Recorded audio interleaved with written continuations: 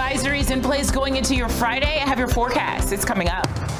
Tonight at 10 on DC News Now, celebrating the red, white, and blue 4th of July in DC. I'm most excited to be here with one of my best friends and um, just in our nation's capital. We have live team coverage following tonight's festivity.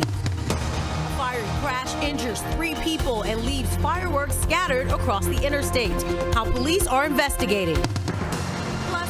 Americans are chiming in on what they say you need to make in order to feel financially secure. The answer in tonight's Stretch Your Dollar.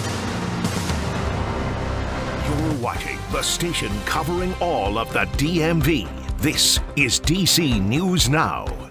Good evening, everyone. Thanks for joining us for DC News Now at 10 on DCW 50. I'm Tosin Fakile. Chris Flanagan has the night off. Let's take a live look outside right now over the National Mall where Independence Day celebrations wrapped up just a little over 30 minutes ago, celebrating America's 248th birthday. And of course, we caught some of those fireworks shows on our camera right there. You can see those light shows going off.